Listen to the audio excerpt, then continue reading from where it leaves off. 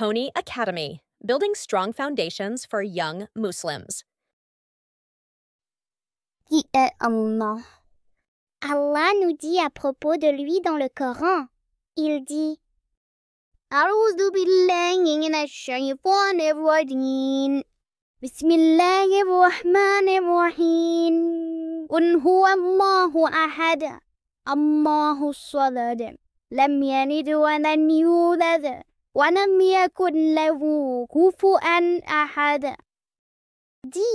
il est Allah unique. Allah, le seul à être imploré pour ce que nous désirons. Il n'a jamais engendré, n'a pas été engendré non plus, et nul n'est égal à lui. Allah nous dit aussi dans le Coran, à la sourate 59, verset 22, 23 et 24.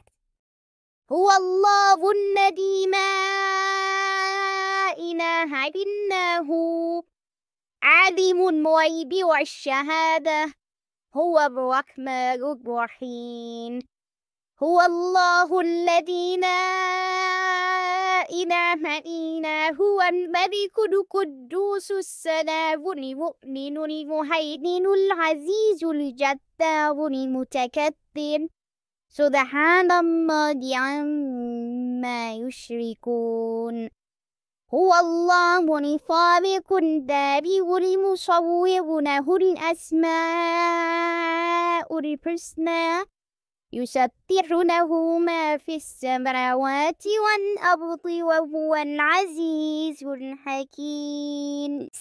Allah, nulle divinité autre que lui, le connaisseur de l'invisible, tout comme du visible.